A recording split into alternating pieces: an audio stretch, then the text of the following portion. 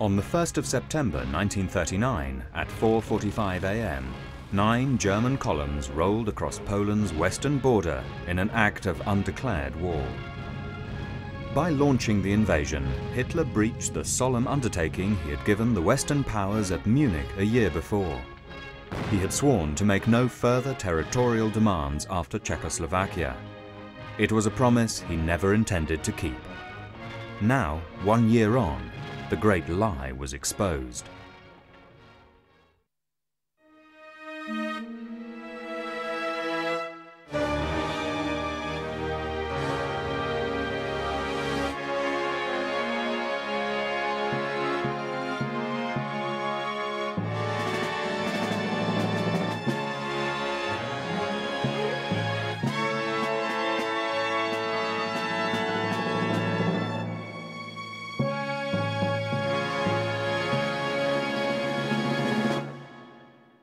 The invasion of Poland followed months of mounting aggression.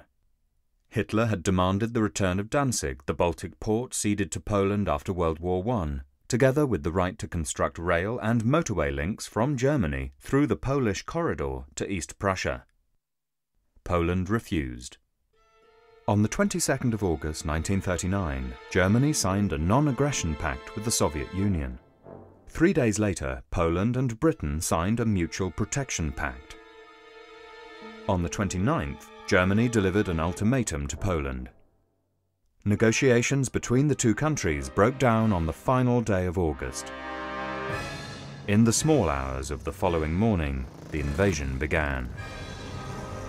Two days later, the French and British governments declared war on Germany, triggering a cataclysm that engulfed the whole of Europe before spreading across the globe.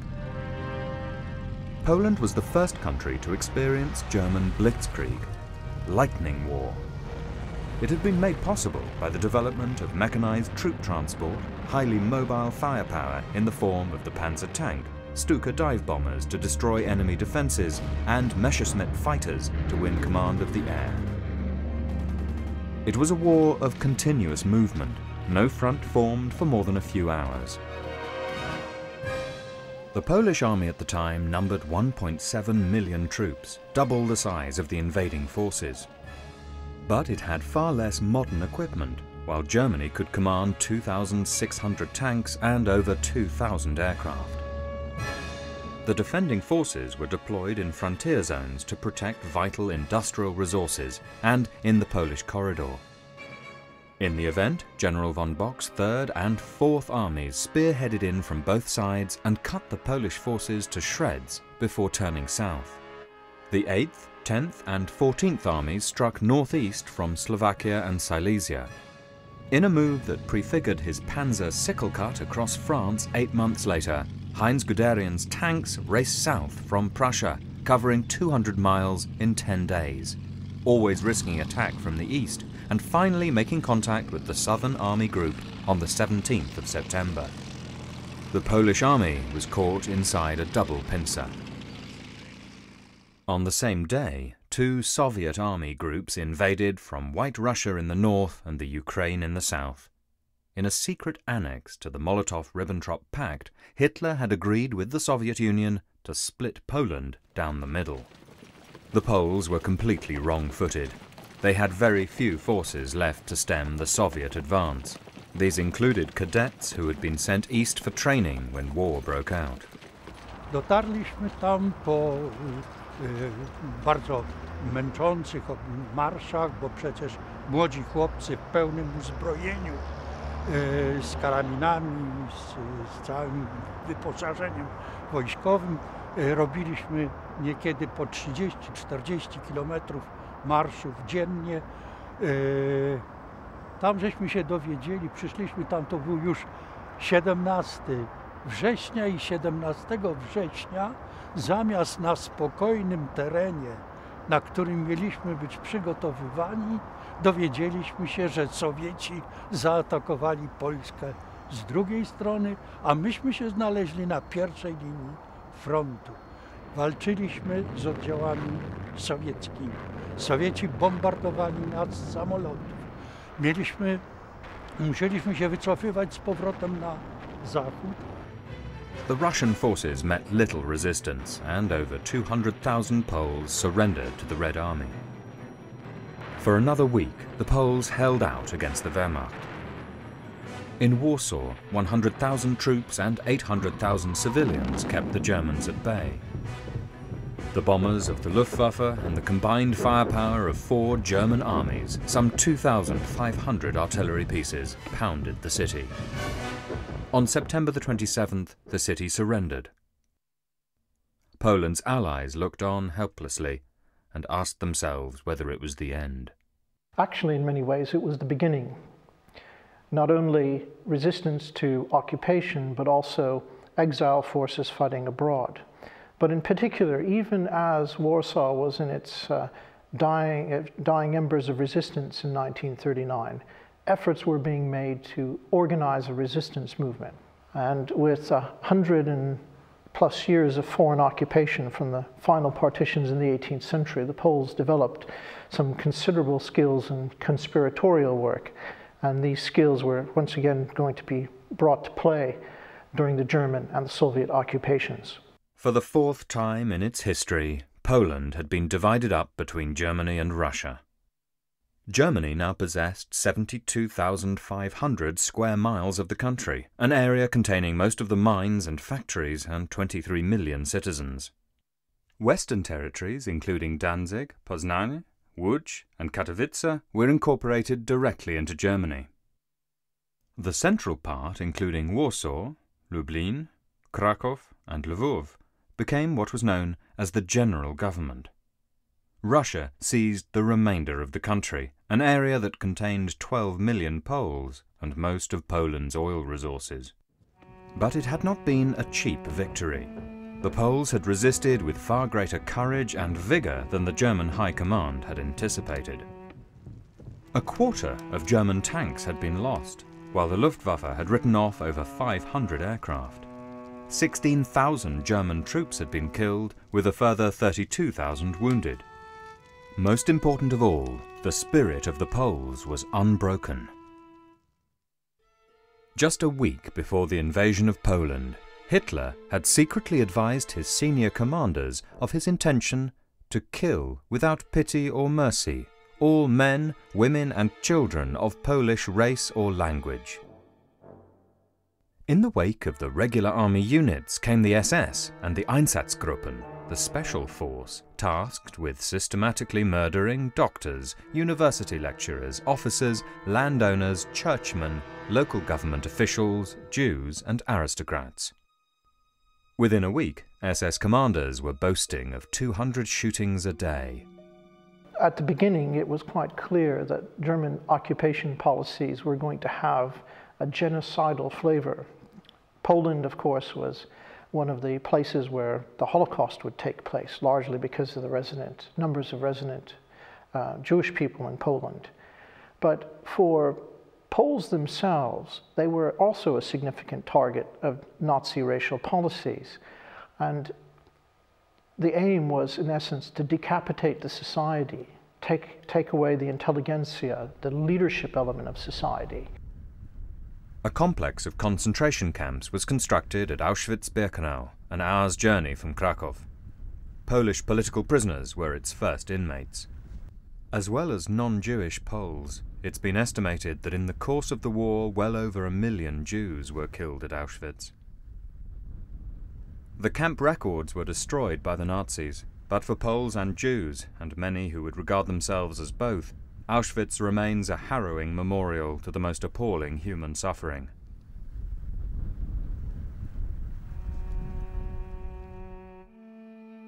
Two million of Poland's 3.3 million Jews had been trapped in the western areas of the country that had been reincorporated into Germany. 600,000 of these, as well as Jews from Austria and Czechoslovakia, were shipped back into the central general government area in cattle trucks. They were concentrated in ghettos in the larger towns and cities, surrounded by brick walls and barbed wire. There, they were to await a final solution. Starting in February 1940, well over a million Poles were deported to the Soviet Union. The fate of many of these is still unknown. Others were deported to Germany to provide labour to fuel the Nazi war economy. Behind the systematic killings and the forced migrations was a plan to create a slave state. The Poles showed remarkable resilience in the face of the rape of their country and the brutal and systematic assault on their culture and identity. Resistance began immediately and it involved the whole population at every level. Collaboration with the occupying power was extremely rare. Nie pamiętam, bo tego momentu dzieli mnie już 60 lat życia, ale wtedy wejście do konspiracji w latach 40 w okresie wojennego bezprawia wprowadzonego przez okupanta, opór był rzeczą naturalną. To było we krwi każdego młodego człowieka, każdej młodej dziewczyny wówczas. I nie było żadnym powodem do chwały. Raczej dziwne byłoby, gdyby się tego nie robiło. Było to tak naturalne jak uczenie się, studiowanie, czytanie. Było to tak naturalne, jak w nienaturalnych okolicznościach toczyło się życie w Polsce. With no legitimate Polish government in the country to rally and organize them, Poles organized themselves. Their passion to defend their freedom was boundless. With little or no outside help, they set up a network of groups that were later to unite under the banner of the Armia Krajowa, or AK, the Home Army. The Home Army's organizational structure covered the whole of Poland, but there were a few groups that remained independent. In Lublin province, units of the Communist People's Guard and the right-wing National Armed Forces were reluctant to recognize the Home Army's authority, as were some Jewish detachments and some partisan groups in Lithuania, Belarusia and the Ukraine. And in the border region there were Russian partisan units who owed their allegiance to Moscow. Nevertheless, the extent of the unification achieved was remarkable and far-reaching. The diversity of resistance included partisan activity, it included sabotage, assassination, intelligence collection. Um, it's safe to say that the Polish Resistance Organization, which eventually um, was known by the broad umbrella name of the Home Army, the Armia Krajowa, was in fact probably Europe's most uh, organized and sophisticated resistance movement in the Second World War.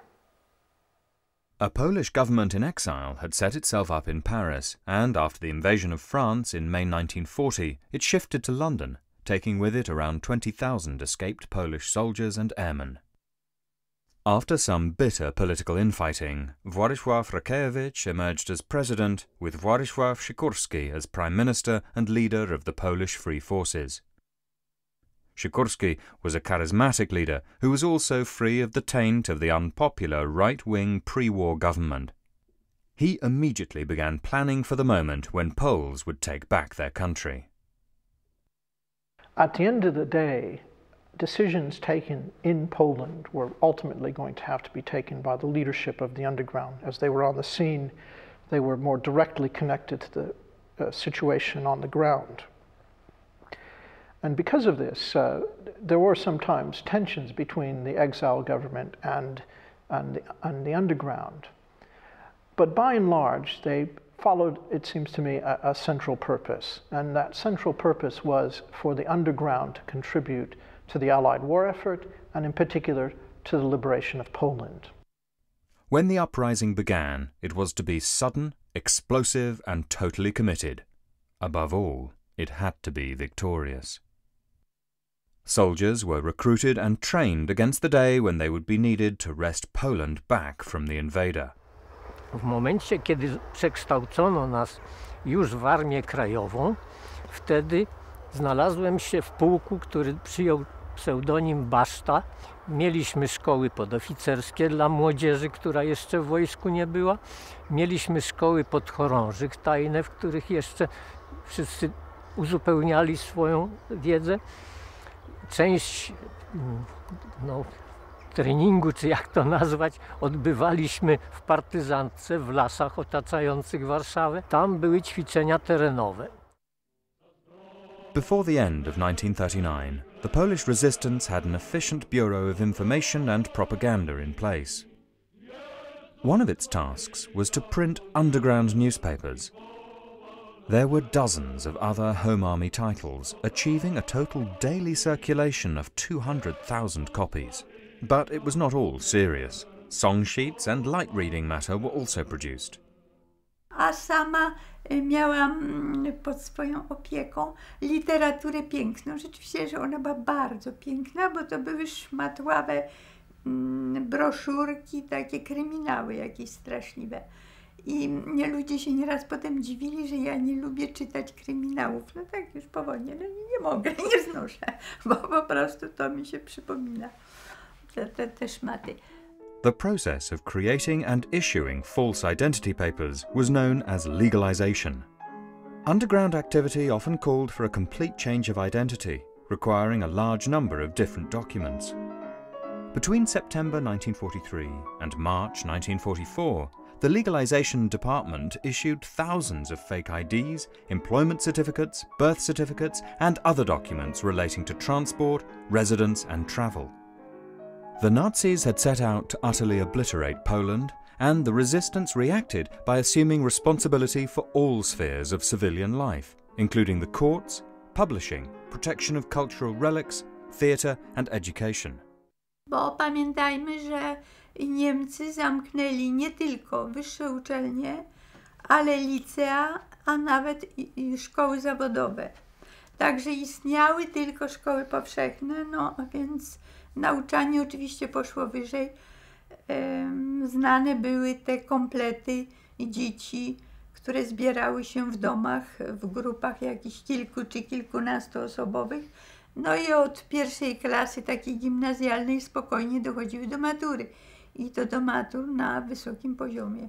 As well as functioning as teachers, nurses, editors, publishers, secretaries, liaison officers, and in a host of other capacities, women were recruited into the Home Army in large numbers to act as couriers, operating between the different groups throughout Poland. Przechowywały broń, materiały w skrytkach specjalnie robionych, ale i zwyczajnie pod materacem. Jedna z moich koleżanek, nieżyjąca, Janina Palmowska-Frankowska woziła materiały wywiadu zwyczajnie pod materacykiem Wojtka, który miał wtedy tam x miesięcy czy potem roczek. Women were subject to arrest and torture by the Gestapo no less than their male colleagues in the resistance. Nobody was safe. In Gestapo headquarters at Alea Schuha, people were tortured indiscriminately on the basis that they might possibly blurt out information. Those who survived often found themselves incarcerated in the infamous Pawiak prison. After a botched attempt to lay their hands on German weapons, Jan Gołębiowski and two of his colleagues were thrown into cell 222 at the Pawiak. Niemcy przesłuchiwali. Staliśmy w kolejce, czołem oparci o mur ściany, z rękami założonymi do tyłu. No i po kolei nas wzywali. No, oczekiwanie było bardzo, e, skromnie mówiąc, e, nieprzyjemne, bo, e, ten oczekujący słyszał bicie, krzyki, wycie e, mordowanego człowieka. No i później po iluś tam minutach no, na takie, takie um, flag takiego człowieka, wyciąga, Niemcy wyciągali z kancelarii, rzucali na korytarz. Survived the day, but later witnessed the horrifying reprisals taken by the SS and the Gestapo in the wake of an attempted jailbreak by prisoners in another cell block. The plan had been betrayed, and the escaping prisoners were mown down by SS troops who had been waiting for them. On the following day, further measures were taken. Okienko w celi to w tej chwili jest takie, było tylko nie było szyb.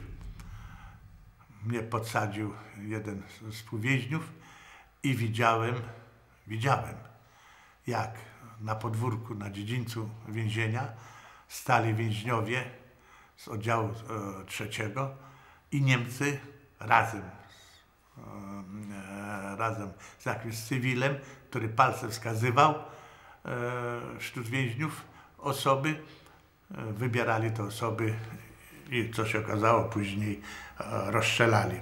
Chyba na początku chyba sto kilkudziesięciu, a później prawie wszystkich mm, więźniów z oddziału trzeciego. Informers and collaborators were ruthlessly eliminated by Home Army hit squads carrying out the sentences of underground courts. But their principal targets were Nazi functionaries, in particular SS and Gestapo personnel. Poland's intelligence capabilities were rated extremely highly by London, not least because substantial numbers of her citizens had been conscripted into the German army or to work in factories inside Germany. Together with the home population, they were a rich source of information. Perhaps the most famous was collecting pieces of a V-2 rocket which landed uh, in eastern Poland uh, having bits uh, eventually fl uh, flown back to Britain for examination and other, other parts of it uh, being, producing detailed drawings for Allied scientists. On June the 22nd, 1941, Hitler turned on his ally Stalin and launched his forces across the Soviet border. Over 3 million German soldiers and 3,300 tanks were involved in the eastward thrust. Operation Barbarossa, as the invasion was called, fatally committed Hitler to a war on two fronts. Ultimately, the decision would bring about the fall of the Reich. But in the early stages, the German army swept all before it, in Poland, the Russian occupation forces were rolled back across the border, leaving Germany in control of the whole country. This actually had a, a significant impact on the effectiveness of the underground in particularly eastern areas because uh, the NKVD, the, the, Soviet secret police, was actually rather effective in dealing with Polish resistance as compared to the German, their German counterparts. I think that's one major effect. But it also politically created circumstances now where the Polish exile government and, in theory, the resistance were fighting alongside the Soviet Union against Nazi Germany.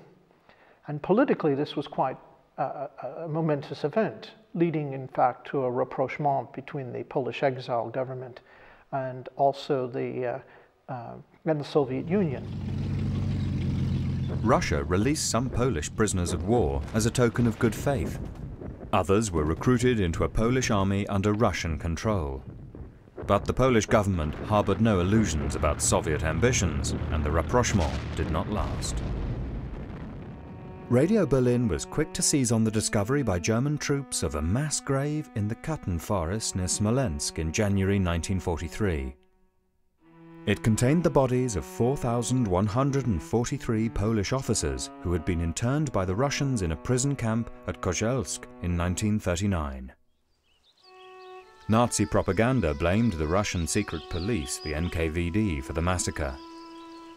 The Russians denied the charge and blamed the Nazis.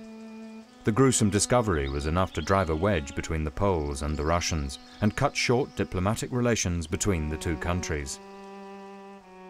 1943 was also marked by tragedy for the resistance, which lost two of its leaders, and for the country as a whole, when Hitler embarked on the so-called final solution to the Jewish problem. It was an era of monstrous evil and extraordinary heroism.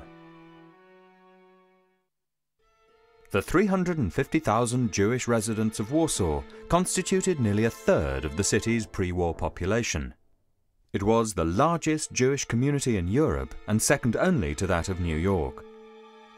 In October 1940, Berlin had ordered that all Jews should be concentrated into ghettos. Warsaw's was enclosed by a 10-foot wall topped with barbed wire and sealed off from the rest of the city.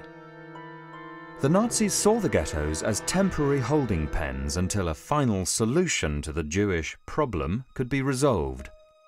Consequently, they took no account of the problems of massive overcrowding, poor sanitation, hunger, and disease. Tens of thousands of Jewish people in the ghettos in Poland died in the very cruel winter of 1940-1941.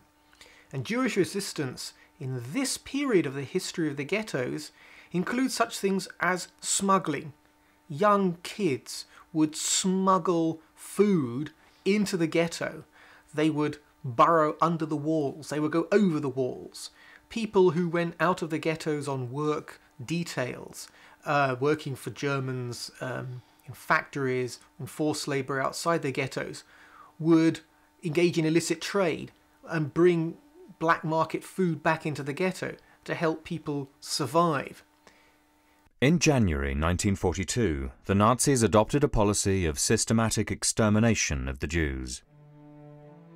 Camps were established at Belzec, Sobibor, Majdanek and Treblinka that had a combined capacity for killing over 80,000 Jews a day. Between the end of July and the beginning of October 1942, 310,000 Jews were deported from the Warsaw Ghetto to these extermination camps. Many were rounded up here at Umschlagplatz. Appalled by the stories filtering back from the death camps, young Jewish socialists and Zionists vowed that they would not go like lambs to the slaughter. They built a network of bunkers and tunnels from which to fight when the Nazis returned. Only a small number of Jews were smuggled out of the ghetto.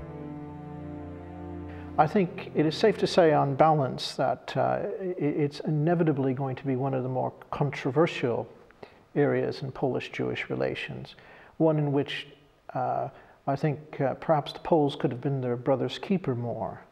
But bearing in mind the risks of harboring a Jew in Poland uh, during occupation con conditions were, were, very severe sanctions. And I think it's a credit to those people who did take the risk uh, to be their brother's keeper under those circumstances. In January 1943, Himmler gave instructions for Warsaw to be Jew-free by Hitler's birthday on the 20th of April. 3,000 SS troops under General Jürgen Stroop were sent into the ghetto with orders to exterminate all Jews within three days. The streets were empty, but the Jews were waiting for them. They suddenly encountered a fusillade of pistol fire, rifle shots, grenades being thrown down from balconies, rooftops, windows. They suffered casualties and they were stunned and retreated with dead and wounded out of the ghetto. Of course, they came back in greater force. But the fighting in the Warsaw Ghetto went on until the middle of May before the Nazi commander Jürgen Stroop proudly announced that the Warsaw Ghetto is no more. German troops had to use artillery, flamethrowers, explosive demolition charges to destroy the Jewish resistance in the Warsaw ghetto. The fighting went on for a month. The Germans couldn't believe the strength of the resistance. 56,000 Jews died in the fighting. But the Jewish will to resist was not broken, and survivors of the ghetto battles later fought alongside the Home Army in the Warsaw Uprising. From an international perspective, the ghetto uprising forced many who were ignorant or indifferent to the Nazi treatment of Jews to face reality. There was a determined effort by the Council for the Rescue of Jews to hide and spirit away Jewish children. In the course of the war, over 100,000 Polish Jews were rescued. Among the Polish forces who had escaped the invasion in 1939 were those who volunteered for service with the Special Operations Executive, SOE. As Britain's first ally in the war, the Polish section of SOE was especially favoured, operating its own radio stations in Britain and planning its own operations. The agents were known as Cichociemni, the silent and unseen. The arrival of the Cichociemni was always a huge boost to the morale of the Polish underground. On a practical level, they brought weapons and kits for making more, along with plans, orders, and huge quantities of money to finance resistance activities.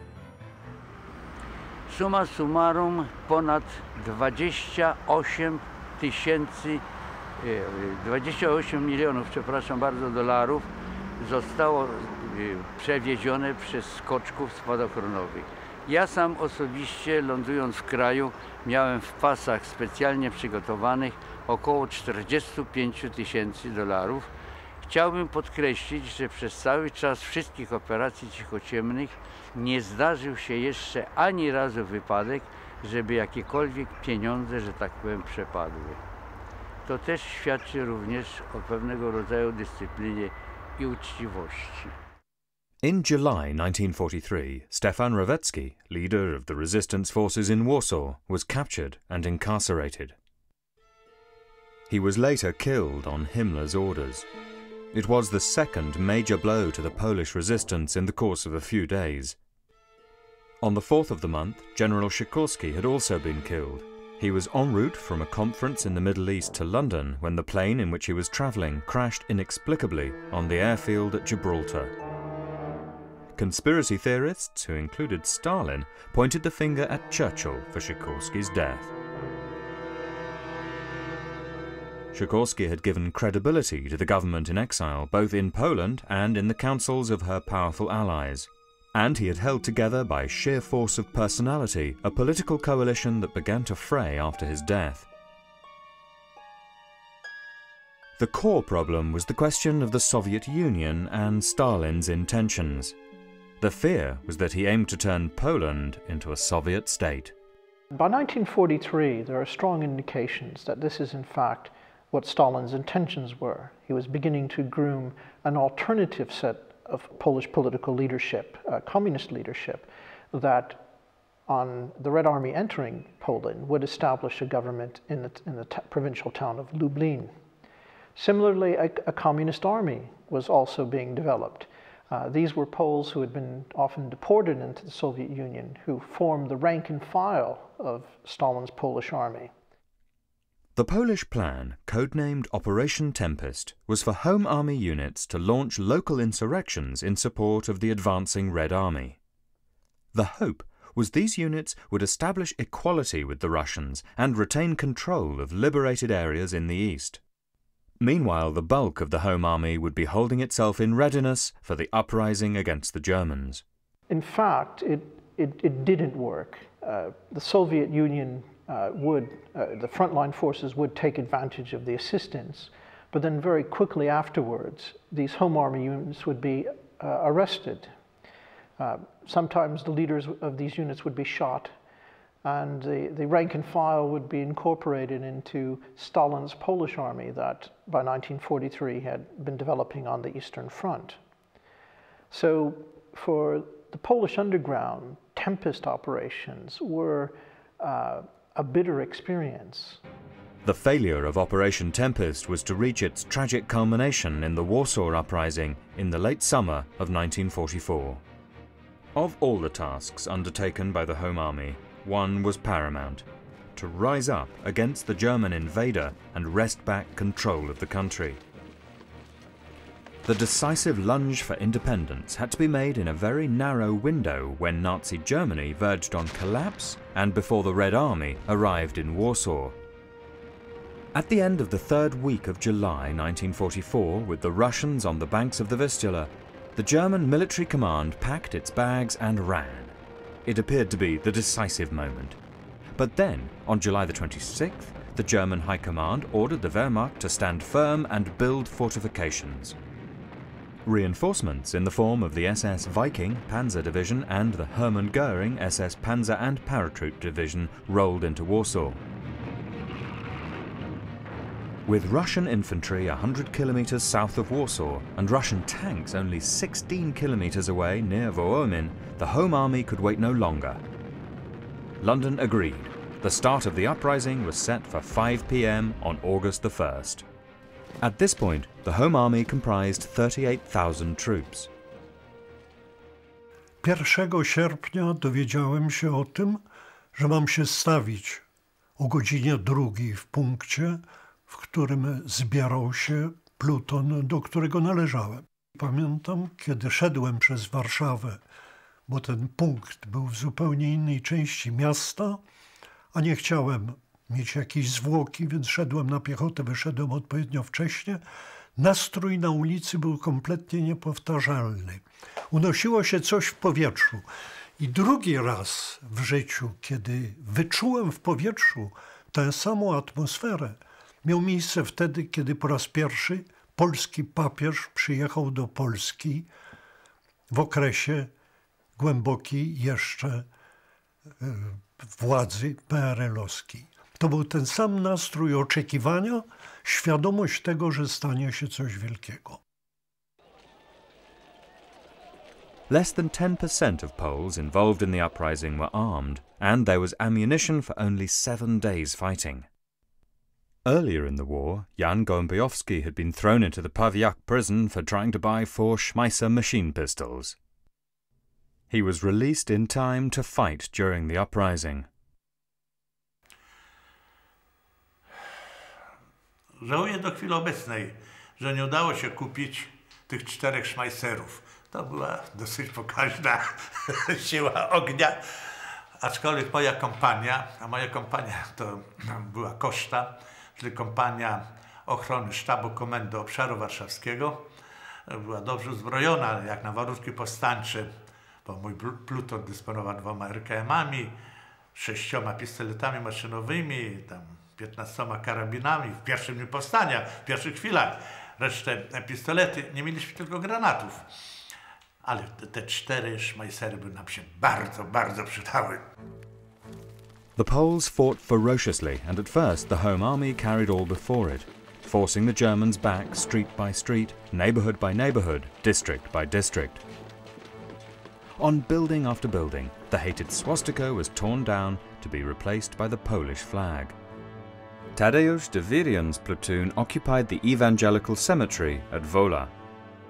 Pamiętam zresztą, jak kiedyś był poważny obstrzał artyleryjski i ci, którzy mogli, chronili się do grobów. Tam, gdzie udawało się otworzyć kapliczki grobowe, schodzili do schod po schodkach i między trumnami czyli się najzupełniej bezpiecznie, bo tam nie docierały pociski.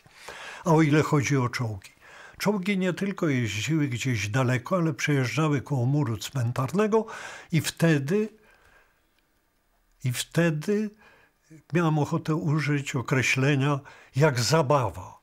Rzucało się w czołgi butelkami z benzyną, które miały rozpalić ogień na, na, na czołgach i w ten sposób doprowadzić do ich zniszczenia. The battle dragged on for 63 days. It would not have lasted that long had the insurgents not scored remarkable successes in capturing German equipment, vehicles, and weapons. And all the while around them, Varsovians were witnessing the destruction of their beautiful city. Himmler gave the order all inhabitants of Warsaw to be shot, no prisoners to be taken, the city is to be razed to the ground. Systematically, Warsaw was reduced to rubble. Long before the end, food and water ran out. W ogóle trzeba było się utrzymać tym, co się miało w zapasach, więc dzielili się ludzie jedni z drugimi. A no najbardziej może małe dzieci prawda, odczuwały. No ja właściwie nie miałam nawet czasu e, nad tym się zastanawiać, dlatego że e, ja musiałam być do dyspozycji i prawda, opatrywać rannych, po prostu przenosić meldunki. E, nocami dużo rzeczy się robiło. Nie było nawet czasu na normalny odpoczynek. Zresztą gdzie? Przecież w ogóle życie się odbywało raczej w piwnicach bo stale były obstrzały, prawda, Niemców. Światła już nie mieliśmy przez cały okres e, okupacji e, powstaniowej. E, w ogóle elektrownia nie pracowała, także gotowało się na takich dwóch cegłach wodę, jeszcze woda wtedy była. Civilians were flushed from their homes and shot. The bodies were doused in petrol and burnt. Streets of houses were set ablaze. The sewers became a hidden network for insurgents to move about the city. The Germans responded by blocking manholes, tossing in grenades, and occasionally fighting the survivors in hand to hand combat amidst the filth. Between 200 and 250,000 people perished, civilians perished in the course of the uprising. The brutality that the Germans displayed, particularly between the 5th and the 7th of August, massacring so many civilians, essentially drove them into areas held by the Home Army because they felt this was the only place they could have any safety. It's best epitomized if one goes to Warsaw and the Old Town. there's a monument to the children uh, of the Warsaw Uprising, and it's in fact one of the most moving monuments to the uprising, and I think it captures the pathos of what happened to the civilian population uh, during those terrible two months. To this day, it's still a cause of great bitterness that the Soviet Union stood by while Warsaw went up in flames. Some units of the Red Army reached the suburbs while battle raged, but Stalin had ordered them to halt. He had made a cynical calculation that once the two sides had killed each other off, the Red Army could move in. Inną pomoc w ostatnich już dniach dostawaliśmy pseudopomoc ze Związku Radzieckiego. Nad Warszawą latały tak zwane kukurużniki i z tych kukurużników zrzucano w workach amunicję i karabiny i jakieś suchary i to wszystko jak spadało na ziemię, to się rozbijało na marmoladę i było ani do spożycia, ani do walki nie, mogły, nie można było tego użyć.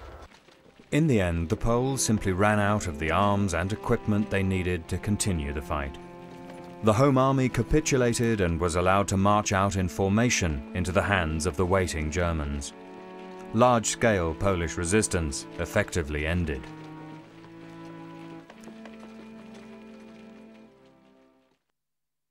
In the aftermath of the Warsaw Uprising, the Germans went about the systematic destruction of virtually everything left standing, while the Russians, who were preparing for their next offensive, watched impassively.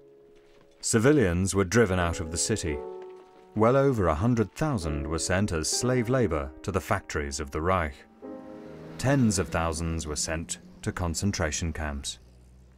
In the areas occupied by the Soviet army, the center of political power shifted to the small city of Lublin, 160 kilometers southeast of Warsaw, where the ruling political committee consisted of communists who took their orders from Moscow. They ruthlessly set about dismantling any remnants of the old Polish Republic and suppressing opposition to the regime. The Home Army was depicted as being full of fascist reactionaries who were acting against civil law.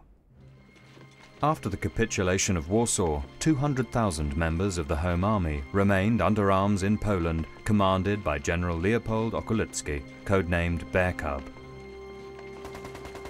They continued to harass the German forces wherever they could. Largely abandoned by their allies in the West, denounced as bandits and fascist by Moscow and its stooges within Poland, they became increasingly isolated and vulnerable to the Red Army as it began its advance westwards to Berlin.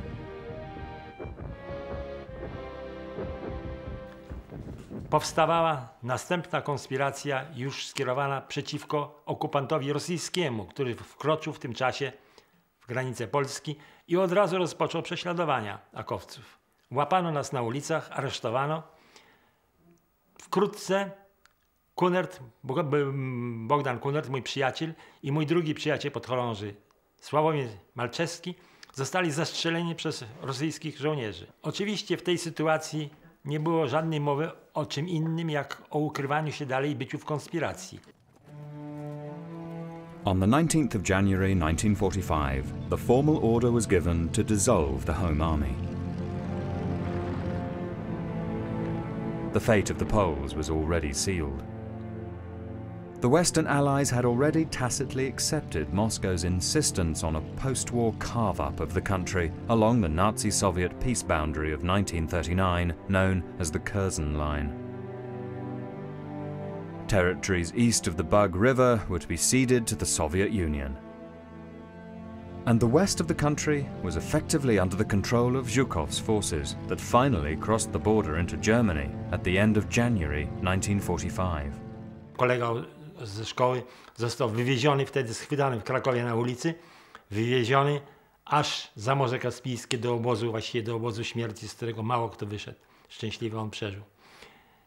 Na prawo i lewo wtedy widziało się wywożenie wszystkiego z kraju, co się dało wywieźć i armia sowiecka przecież zachowywała się tak jak okupacyjna. Było to jasne dla nas, że nadeszła nowa okupacja, zresztą nie, nie tylko dla nas akowców, ale dla całej ludności, z którą się spotykałem wtedy. Wszyscy byli wtedy przeświadczeni, że niestety wolność do nas na razie nie przyszła.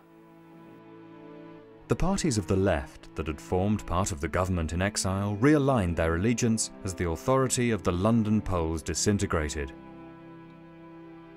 In the month that followed, native Polish communists and Moscow maneuvered for power.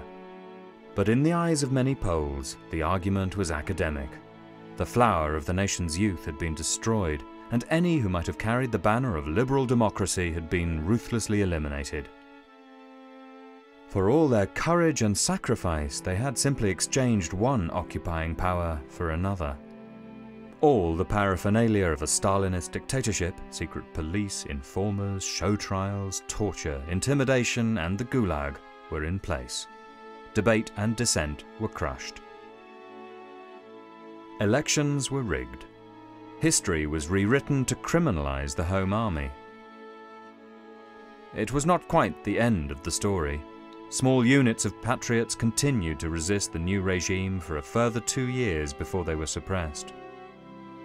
But the spirit of the Poles had never been extinguished.